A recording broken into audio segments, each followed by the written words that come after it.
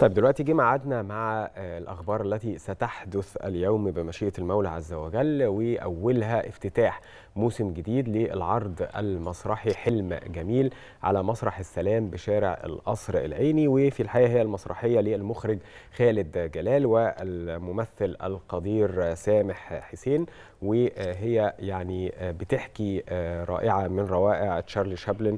أعتقد يعني إحنا هنكون أمام حدث يعني من عشاق بقى المسرح تحديدا أو لعشاق المسرح هيكون يعني غاية في الروعة ولابد أن يعني كل محبي المسرح اللي هم يعني يتفرجوا على هذا أو هذه المسرحية تحديدا لأن أعتقد خالد جلال خلاص معروف أعتقد إن فيها أكيد. يعني هيكون فيها ابداع أجيال مختلفة وأشكال مختلفة وبيقدم مواهب مختلفة ويسيب الناس مساحتها تتحرك فبنشوف عرض غنائي مسرحي بنشوف حاجة مغ... آه أكيد. هيكون في تفاصيل يعني أنا عن نفسي عاوز أروح. طيب يبقى قول لنا إيه اللي هيحصل. طيب كمان النهارده هيبقى في مركز إبداع قبة الغوري تحديدا بمنطقة الأزهر. هيبقى في حفل ذكر ومدح لفرقة أبو الغيط. وكمان في مؤتمر صحفي لروي فيتوريا المدير الفني لمنتخب مصر الأول طبعا لكرة القدم ده استعدادا للمباراة الودية ما بين منتخب مصر ومنتخب بلجيكا.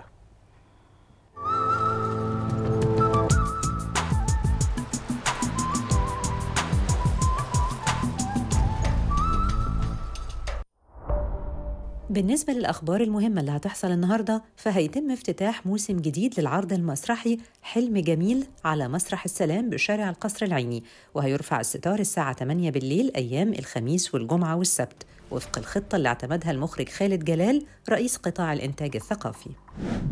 النهارده هيقيم مركز إبداع قبة الغوري بمنطقة الأزهر التابع لقطاع صندوق التنمية الثقافية حفل الذكر والمدائح لفرقة أبو الغيط الساعة 8 بالليل.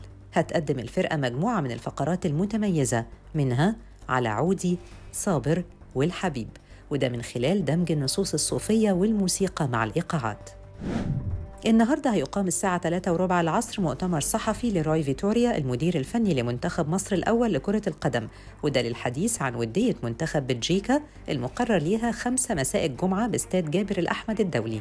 بيعقب المؤتمر الصحفي تدريب مفتوح لمنتخب مصر ومسموح للقنوات والمصورين لمدة 15 دقيقة.